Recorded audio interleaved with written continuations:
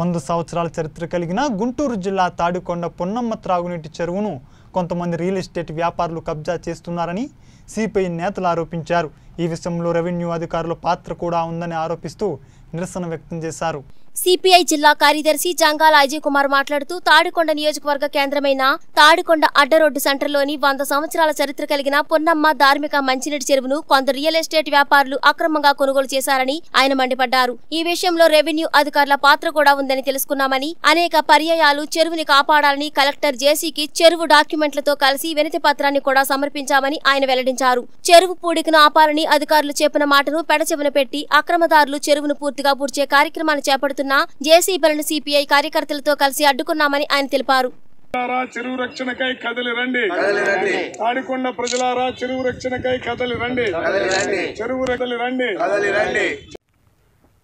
తాడికొండ నియోజకవర్గం అడ్డ రోడ్లో ఉన్నటువంటి పున్నమ్మ చెరువు కళ్ళ ముందే రియల్ ఎస్టేట్ దారులు కబ్జా చేసి వంద సంవత్సరాల నుంచి ప్రజలకు సేవనందిస్తున్నటువంటి దాహార్తి తీరుస్తున్నటువంటి డెబ్బై ఎనభై కోట్ల ఖరీదు చేసే పున్నమ్మ చెరువుని కబ్జా చేస్తూ ఉన్నారు.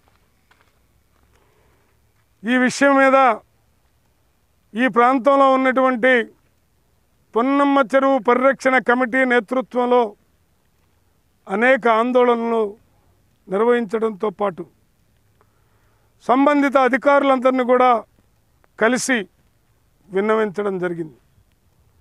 అయితే రియల్ ఎస్టేట్ దారులు ఎంత విచిత్రమైన పద్ధతుల్లో మేనేజ్ చేశారంటే ఇవాళ ఒకనాడు ఇదే రియల్ ఎస్టేట్ దారులు ఈ చెరువుకి రిజిస్ట్రేషను పాస్ పుస్తకాలు అడిగితే ఫిజికల్గా చెరువుగా ఉంది కాబట్టి గత ఎంఆర్ఓ గారు దీన్ని రిజెక్ట్ చేస్తూ అడంగుల్లో ఉన్నటువంటి చెరువు అనేటటువంటిది వాళ్ళకి చూపించడం జరిగింది.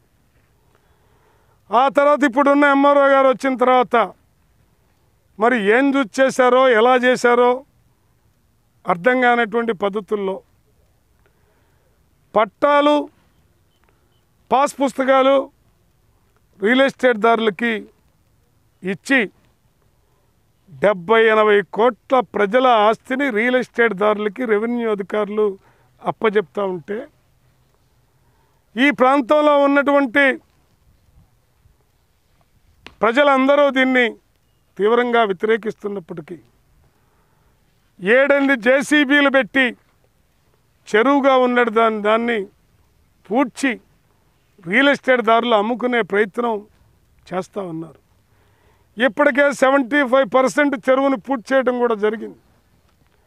దీనికి రకరకాల టెక్నికాలిటీస్ చూయించి దీన్ని సొంతం చేసుకోవడానికి నరక నానా యాతన పడుతూ ఇవాళ ఈ చెరువుని పూడ్చేటటువంటి ప్రయత్నాన్ని చేస్తూ ఉన్నారు.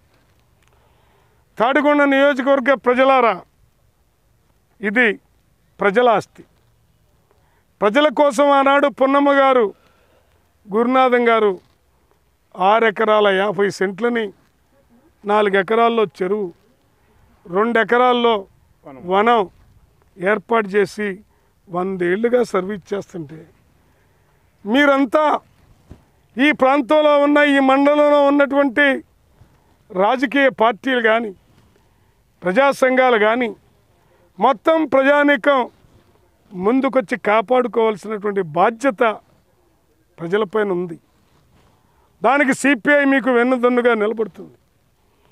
అలాగే రెవెన్యూ అధికారులకు ఒకటే విజ్ఞప్తి చేస్తూ ఉన్నాం. మేము ఇంతటితోటి ఈ సమస్యను వదిలిపెట్టాం. అవసరమైతే సీఎం గారి దృష్టికి కూడా ఈ అంశాన్ని తీసుకొని వెళతాం. ఈ చెరువును అన్యాక్రాంతం చేస్తూ ఉంటే చూస్తూ ఊరుకునేటటువంటి పద్ధతి మాత్రం లేదు. అందువల్ల రాబోయే రోజుల్లో మరిన్ని కార్యకలాపాలని ఈ చెరువు రక్షణ కోసం ఉద్యమాన్ని తీవ్రతరం చేస్తామని ఈ సందర్భంగా తెలియజేస్తూ ఆ ఉద్యమంలో ఈ ప్రాంత ప్రజలంతా భాగస్వాములు కావాలని విజ్ఞప్తి చేస్తూ ఉన్నాం.